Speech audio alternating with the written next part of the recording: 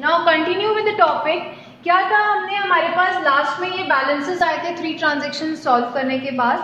Now let us discuss the fourth transaction ये हमारी last की इक्वेशन थी जो बची थी.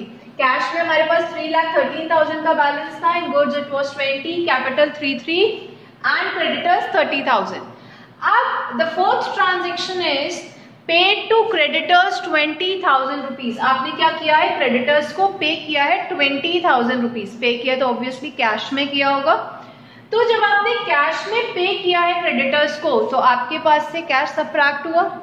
जब कैश सब्रैक्ट हुआ क्रेडिटर्स आपकी लाइबिलिटी है, उसको आप पे करो तो इट मीन्स आपकी जो लाइबिलिटीज थी, वो भी क्या हो गई?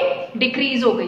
किसमें से डिक्रीज हुई? There was a separate column prepare for creditors उसी में से आपने क्या किया? ट्वेंटी थाउज़ेंड के क्रेडिटर्स को सब्रैक्ट कर दिया।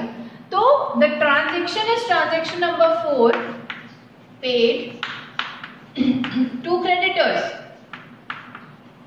subtract हम ब्रैकेट में शो करते टोल्ड यू बिफोर ऑल्सो तो ट्वेंटी थाउज़ेंड मेरा कैश में से माइनस हो रहा है।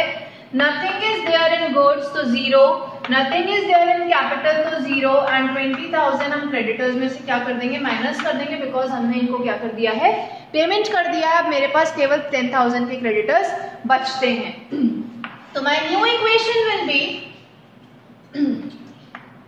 I I'll it will have 93,000 in cash, 20,000 in goods, 3 lakh 3,000 in capital and 10,000 in creditors. मेरी इक्वेशन बैलेंस हो रही है। Three lakh thirteen thousand on liability side and three lakh thirteen thousand on asset side is there with me.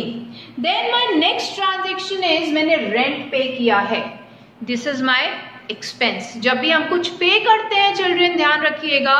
It is very simple whenever we pay anything तो उसका सीधा सीधा impact जो है, आप बिना सोचे, आप बंद करके you can minus it from cash and minus it from capital क्योंकि जितने भी लॉसेस और एक्सपेंसेस होते हैं, उसका डायरेक्ट इम्पैक्ट जो होता है, बच्चे को कैपिटल पर आता है and whenever you pay it is directly subtracted from cash receiving में इसका ऑपोजिट होता है वाइसा वर्सा होता है whenever you receive anything commission receive किया सैलरी रिसीव की आ, कोई भी रेंट रिसीव किया इंटरेस्ट रिसीव किया तो आप बंद करके add it in cash and add it in capital तो सपोज़ मैंने यहाँ मेरा ट्रांजेक्शन है rent paid for rupees ten thousand तो मैंने टेन थाउज़ेंड कैश में से माइनस किया मैंने पे किया सेम मैंने क्या किया टेन थाउज़ेंड रुपीज़ अपनी कैपिटल में से भी माइनस कर दिया. मेरा इम्पैक्ट हो गया यहाँ पर eighty three thousand is there in my cash twenty thousand in my goods ninety three thousand in capital and ten thousand in creditors I have receive five thousand as interest मेरी income थी। ये मेरी new equation है and my next transaction is income income हुई है मुझे। Interest मैंने receive किया है फाइव थाउज़ेंड का। रिसीव किया है, मेरा कैश इंक्रीज होगा। गुड्स में मेरा कोई चेंज नहीं आया है। देन फाइव थाउज़ेंड मेरे लिए प्रॉफिट है प्रॉफिट सब कैपिटल में ऐड करते हैं क्रेडिटर्स में मेरा कोई चेंज नहीं आया है।